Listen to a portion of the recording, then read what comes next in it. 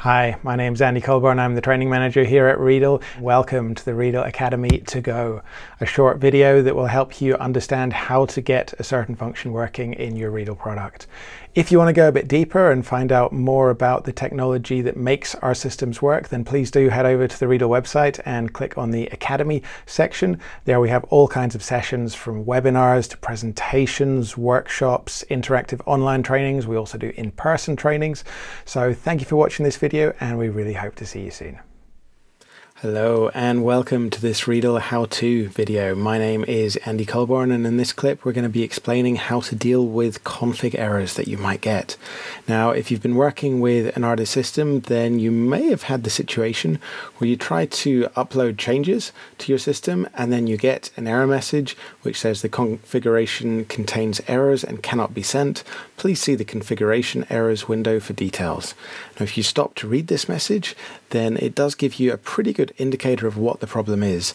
But the question straight away comes up, what is the configuration errors window and where do I find it?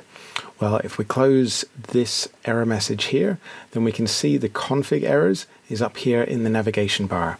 So if we click on this tab, we, then we can see that in this project we have three errors because there are three different lines in the config errors. So if we double click on one of them, it will take us straight to the place where we have that error. So in this case, we've tried to make a call to conference, but we haven't selected the conference which we want to call.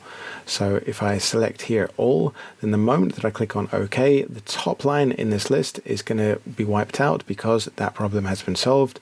And now I'm left with two errors in my config. So if I go to here where it's again hasn't been finished, we're looking to call an IFB, but we haven't selected one.